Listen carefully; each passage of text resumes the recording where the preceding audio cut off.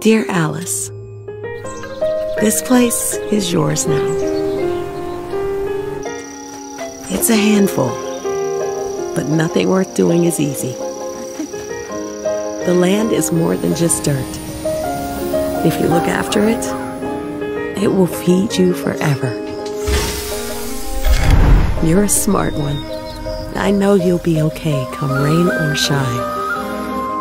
And remember, a business is only as good as its people.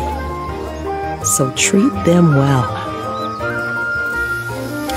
Our job is to plant seeds so our grandkids get to enjoy the fruit.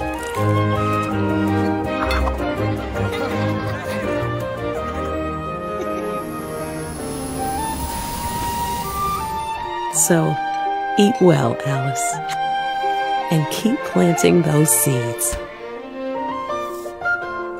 Because how we eat today feeds tomorrow.